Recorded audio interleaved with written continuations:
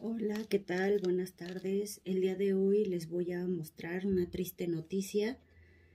Eh, me percaté que mi adenium sigue putrefacta debido a que este, en el caudex se siente muy blandito todavía.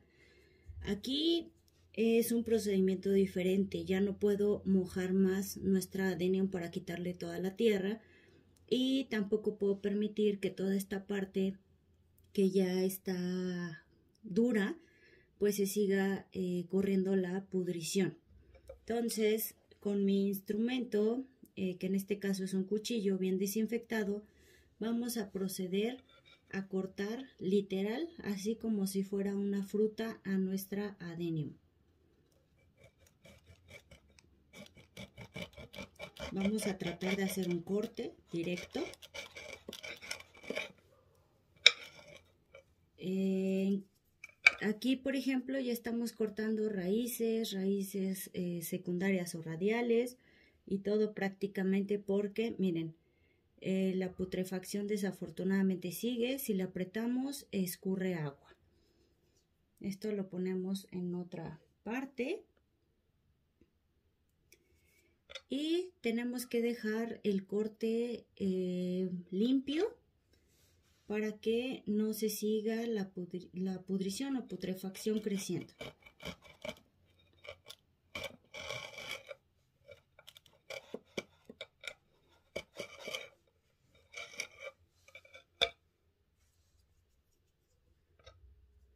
Aquí, por ejemplo, nos podemos percatar que todavía sigue un poquitito de eh, putrefacción. Tenemos que seguir cortando.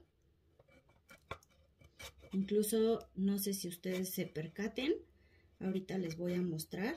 Cada vez que estoy haciendo un corte, el adenium está saque y saque agua. Esto implica que por más que nosotros eh, pudiéramos o quisiéramos salvar nuestra adenium, aquí sigue, por ejemplo, en nuestro corte un poquito con agua. Nosotros apretamos y sigue un poquito putrefacta. Desafortunadamente, pues ya es el siguiente paso y último para nosotros poder salvar nuestras adenium. Literal es cortarlas totalmente hasta que eh, ya no encontremos eh, putrefacción dentro de nuestras adenium. Una vez que nosotros ya, ya hayamos hecho nuestros cortes respectivamente y que ya no tenga absolutamente nada oscuro dentro de su tallo, miren aquí por ejemplo seguimos cortando y sigue saliendo oscuro.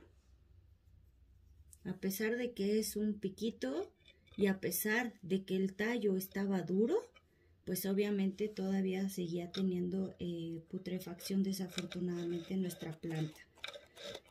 Es una situación pues triste porque varios de ustedes ya me han comentado, por ejemplo, en algunos videos, cómo esto pues a ustedes les ha perjudicado, pues los pone tristes, los preocupa. Obviamente no es una planta que cueste cualquier cosa, y que pues obviamente nosotros lo que estamos buscando pues es salvarla. Aquí por ejemplo sigue saliendo. Entonces pues me voy a arriesgar a que pues ya mi planta está súper chiquititita. Desafortunadamente era un injerto lo que yo había comprado y pues ya quedó muy chiquita. Realmente muy muy pequeñita. Entonces lo que sigue pues es eh, sellar nuestros cortes con cal a pesar de que mi planta todavía sigue teniendo un puntito cafecito dentro de su tallo. Supongamos que ustedes encontraron dentro de su caudex que la planta seguía intacta, que la planta seguía em, pues dentro de lo que cabe ya sin putrefacción y sigue lo que es el corte con cal y dejar reposar nuevamente algunos días para ver la posibilidad de nosotros salvar nuestra planta. No importa que haya quedado chiquita, no importa finalmente, este, si tiene aquí, por ejemplo, una varita, lo que sí es que voy a tener que cortar esta varita por lo menos a la mitad. Miren, así es como tendría que quedar el corte. Entonces, pues sellamos con cal todo esto con el objetivo pues de que la, la logremos salvar dentro de lo posible. Esperemos, ¿no? Y pues bueno, aquí seguimos.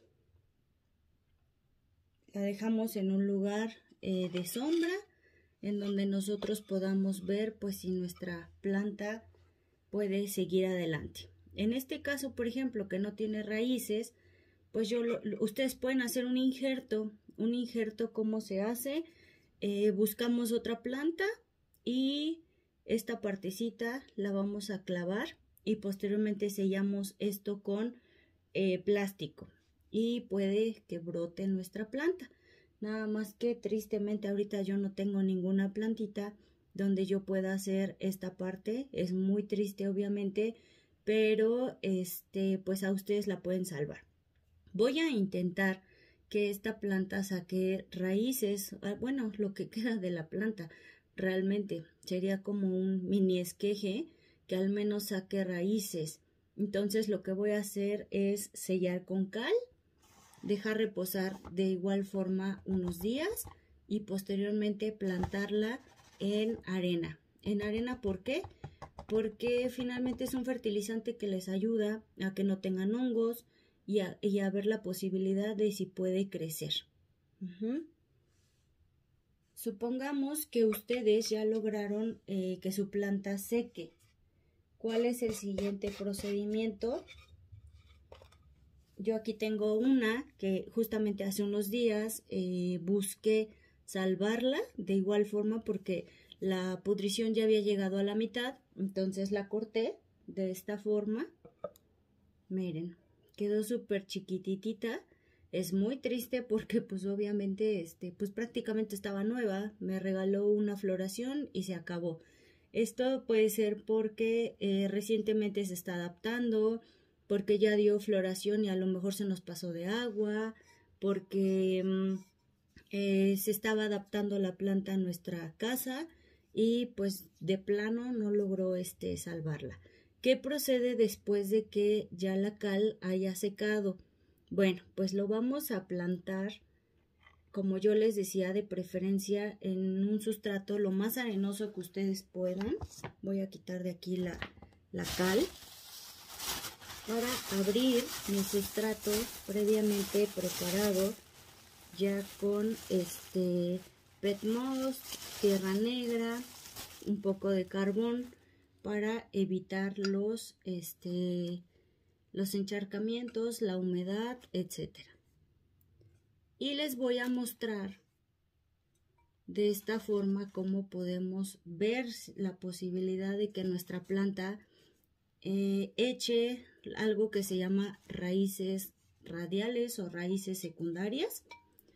Las raíces secundarias nos ayudan para que nuestra planta pues se pueda seguir este, alimentando. En este caso, cuando hacemos este tipo de cortes, pues obviamente no las tiene. Entonces, ¿qué es lo que tenemos que hacer? Eh, hacer un corte de manera horizontal. Ahorita les muestro cómo lo realicé. Esto con el objetivo de que nuestra planta la podamos eh, dejar para ver si nuestra última oportunidad es que eche raíces secundarias. Aquí ya llené, por ejemplo, la mitad de mi maceta eh, con tierra y lo que voy a hacer es ponerle arena. La tengo en esta parte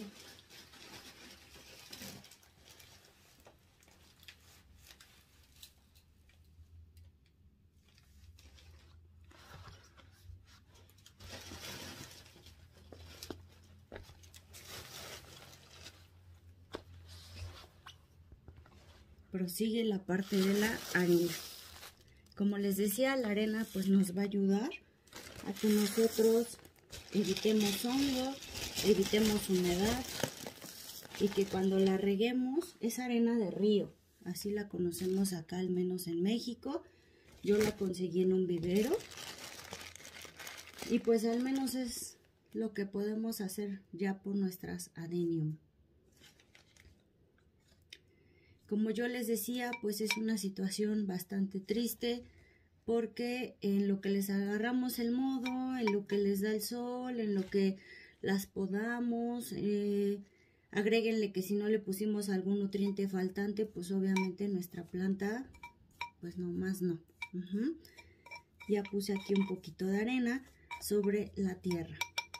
Y procede a hacer un corte que yo previamente hice que es un corte así, en diagonal, en horizontal, en donde yo voy cortando esto con el objetivo de que, no sé si lo alcancen a percibir, esto es el tallo, lo corté así literalmente en, en una forma diagonal y luego posteriormente hacemos el corte, les voy a mostrar con la otra, con la otra, este, con la otra plantita porque finalmente no vamos a, saber si se va a salvar o no.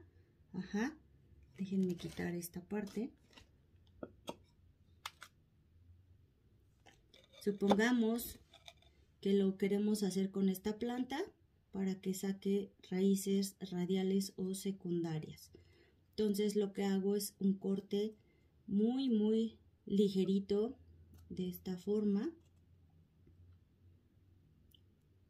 Y posteriormente tenemos dos opciones. Una de dos. Eh, conseguimos cola loca, que es un pegamento que acá usamos en México, y pegamos nuestra eh, adenium a una tapa de garrafón o una tapa de eh, medicamento o una tapa de algún jarabe, etc.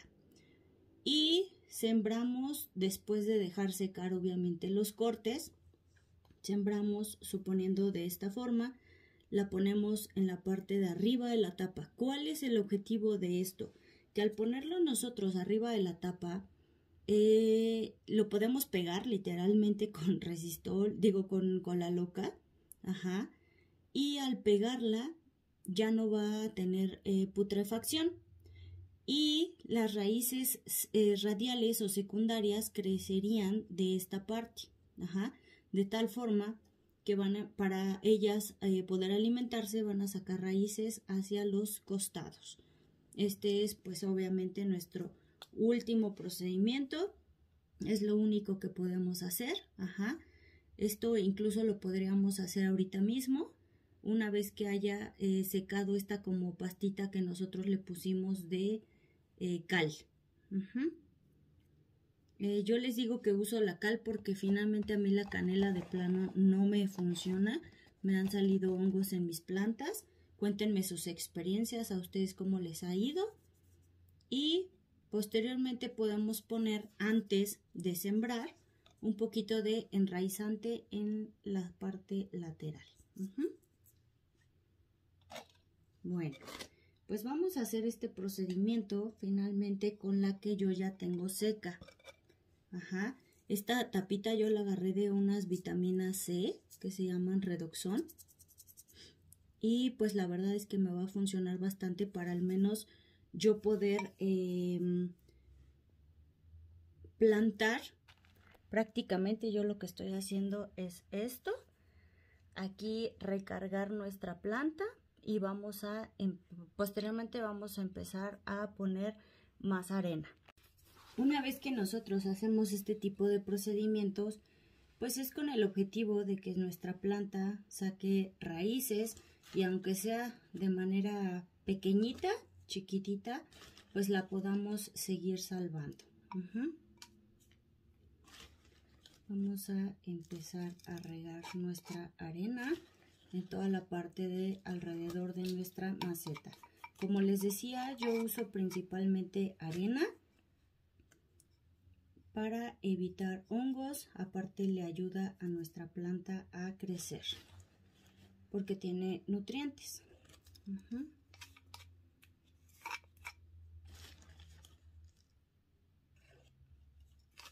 Pues esto es prácticamente lo que podemos hacer con nuestras adenium.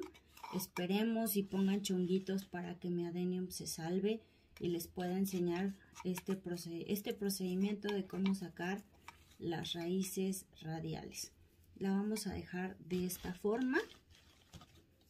Eh, nuestra planta literalmente se va a quedar sobre la tapita que yo le puse. Y así, de esta forma la vamos a regar de manera muy, muy, muy espaciada. Obviamente, cuando no funcionó eh, los cortes que hicimos previamente, pues esta ya es la última opción que tenemos. Entonces, pues con mayor razón tenemos que regar todavía con más, más cuidado y de manera espaciada. Aquí, por ejemplo, yo ya había dejado mi adenium cerca de 2-3 días secándose por lo de la cal. Entonces, de esta forma, yo ya puedo empezar a regar. ¿De qué forma voy a regar? Yo le sugiero con un atomizador para no regarla, para no ponerle tanta agua y para que nosotros podamos ir midiendo su crecimiento y pues ver si finalmente se va a salvar. En caso de que sus adenium tengan hojitas o tengan todavía floración, yo les sugiero quitárselas porque esto le va a quitar eh, pues energía, vitaminas para que ella se pueda recuperar y obviamente en lugar de ayudarla pues vamos a obtener más este pudrición en nuestra planta. Dentro de las preguntas más frecuentes es que cuando se le va a quitar la tapa sobre la cual la pusimos, eh, se va a quitar principalmente cuando le crezcan las raíces radiales por las cuales ella se pueda alimentar. Y obviamente nosotros nos vamos a dar cuenta si pegó nuestro intento para salvar nuestra planta una vez que eh, eh, aquí le empiecen a salir este hojitas o que le empiecen a salir florecitas o que le empiecen a salir más tallos. Voy a regar con un atomizador la arena. Les voy a alzar esta parte de la cámara para que ustedes puedan ver. La arena precisamente para esto nos sirve, para no encharcar, para que no quede nuestra plantita toda este exagerada de agua. Recuerden que aquí es poquito, poquito con el objetivo de que nosotros podamos estarla monitoreando, que nosotros podamos ver qué tanto lleva de agua. Aparte de que la arena, como ustedes se podrán dar cuenta, eh, absorbe muy rápido, entonces pues esto nos va a servir. Espero poderles grabar el resultado de haber hecho este procedimiento y pues poder compartir con ustedes el salvar a una de mis adenium eh, nuevamente. Que tengan bonita tarde.